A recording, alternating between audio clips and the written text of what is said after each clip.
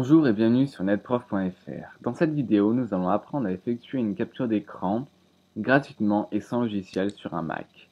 Pour cela, il y a deux options. Voici la première, capture d'écran totale. La deuxième, capture d'écran d'une sélection. Dans les deux cas, il faut appuyer simultanément sur trois touches. Par exemple, capture d'écran totale, pomme, plus majuscule, plus 3.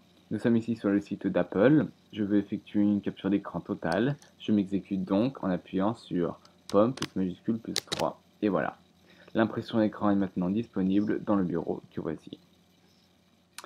Pour la capture d'écran d'une sélection, j'appuie simultanément sur pomme plus majuscule plus 4. Je m'exécute et il y a maintenant un viseur qui apparaît ici à droite. Je peux donc sélectionner n'importe quelle zone de l'écran, comme par exemple celle-ci, je relâche la pression et maintenant l'impression écran est maintenant disponible dans le bureau que voici. Bonne capture et à bientôt.